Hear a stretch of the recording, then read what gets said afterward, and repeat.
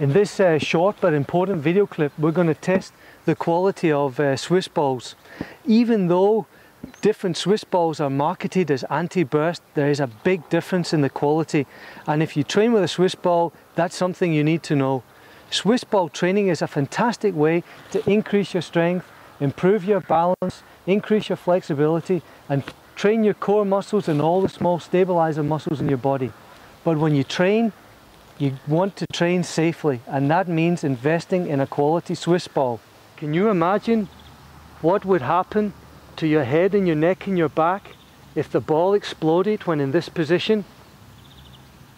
If, it, if the ball got cut by some glass or a stone, it's really important that the ball is anti-burst and it deflates slowly and doesn't explode. I often squat in the ball because it's a fantastic way to train the whole body. Think what would happen if the ball exploded when I'm squatting with weight. Now we're going to test the quality of two different anti-burst balls. It's going to be interesting to see if they're both as strong as each other. Now we're going to test how strong the ball is with this uh, screwdriver. Now it could easily be a piece of glass, a stone or anything that's sharp. That's why it's really important before you train in your ball, you make sure you've got no sharp objects on your shoes, look at the floor, make sure it's clean, make sure there's no glass or stones that can uh, um, puncture the ball. Now, what I'm going to do is I'm just going to puncture it like this. Uh, I'm a little bit nervous, not too much, because I know this ball and I've been training on it for, for years, so it's uh, done well. Okay, here goes.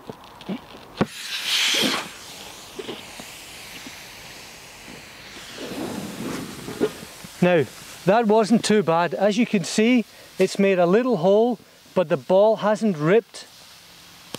So if I went over something that was uh, sharp when I was standing and squatting or doing an exercise while I was lying on my back, I wouldn't get injured on it. A lot of balls, they just rip and explode. Now we're going to test uh, the other anti-burst ball. Same procedure, puncture it with a screwdriver and let's see what happens. Now I'm a bit nervous because this is a cheaper ball than the other one and I'm not sure how it's going to react. Okay, here goes.